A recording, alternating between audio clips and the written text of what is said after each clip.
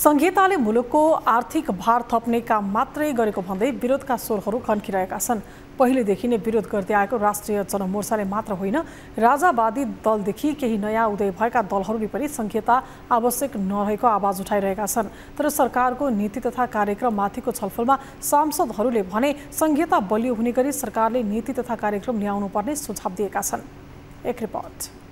मुलुक संघीय प्रणालीमा गएको एक कार्यकाल पूरा भइसकेको छ। दोस्रो कार्यकालमा संघीयताको कार्यान्वयन हुँदै गरे पनि प्रादेशिक संरचना अझै पनि केन्द्र शासित रहेको आवाज उठिरहेको छ। प्रदेशलाई अधिकार संकुचन गरिएको भन्दै केन्द्र सरकारको विरोधमा पटक पटक प्रदेश सरकारबाट आन्दोलनहरू भए। यति बेला केन्द्रदेखि प्रदेश सरकार बजेट ल्याउने तर्खरमा छ।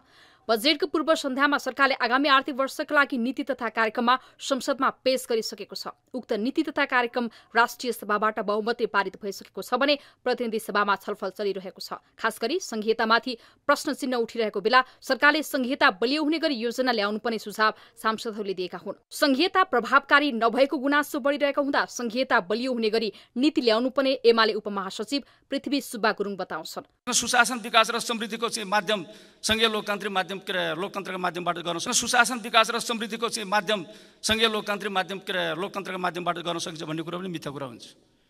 त्यस कारणले संहिता कार्यमा चाहिँ यो चाहिँ सरकारको नीति र कार्यक्रममा के प्रतिबद्धता छ? अन्तर प्रदेश परिषदको चाहिँ परिचालन गर्ने म कानुन बनाउँछु पनि भन्दैन त्यसको कार्यविधि बनाउँछु पनि भन्दैन त्यसको सचिवालय खोल्छु पनि भन्दैन प्रदेश र प्रदेशको बिचमा प्रदेश र चाहिँ सङ्घको बिचमा जे जे समस्या त्यो समाधान गर्छु पनि भन्दैन।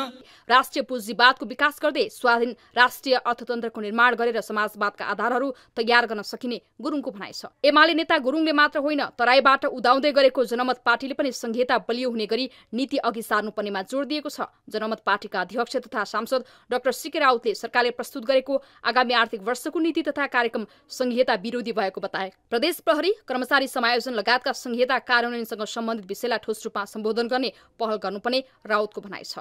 पहाडमा डाँडा काँडा जङ्गल खाली ठाउँहरू प्रशस्त हुन्छन् जहाँ पनि पर्याप्त ठाउँ जमिन देखाउन सकिन्छ। तर तराई मधेसमा कतै कतै मात्रै मुस्किलले एलानी जग्गा बचेको छ त्यो पनि ससाना टुक्रा मात्रै। तर नीतिगत विभेद कहाँ छ भन्दा नमुना विद्यालयको लागि जग्गा हदबन्दी राख्दा हिमाल पहाड उपत्यकामा दस रोप्ने अर्थात् एक एक बिघाभन्दा कम चाहिने तर तराईमा त्यसको दोबर दुई बिघा चाहिने।